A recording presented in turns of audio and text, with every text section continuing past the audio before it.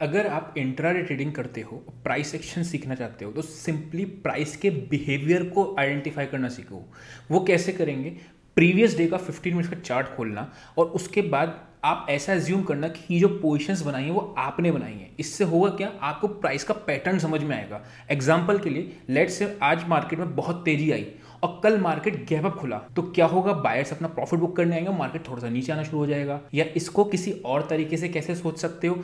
बहुत तेज एक रनअप आया मार्केट में और मार्केट गैप डाउन खुल गया। तो उस केस में क्या हो सकता है? पैनिक सेलिंग आ सकती है। तो इस तरीके से आप प्राइस को समझने की कोशिश करोगे ना तो एक टाइम ऐसा आएगा कि आप प्राइस एक्शन पे अच्छा कमांड बना सकते हो। और अगर आप भी स्टॉक मार्केट में ट्रेडिंग या प्राइस एक्शन सीखना चाहते हो तो इस चैनल को सब्सक्राइब कर सकते हो।